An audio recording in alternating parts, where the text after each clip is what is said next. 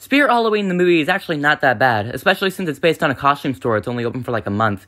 The story was pretty decent and some of the effects were pretty good. Most of the time you could tell the possessed animatronics were just a guy in a suit, but aside from that, the effects weren't that bad. This movie was actually okay, but the main thing is like, why would you watch it? The main reason I think people would want to watch this is because of Christopher Lloyd, but he just feels underused. The only time he's on screen is the beginning scene, and that's it. The rest of the time it's just a voiceover, and it's not even that good.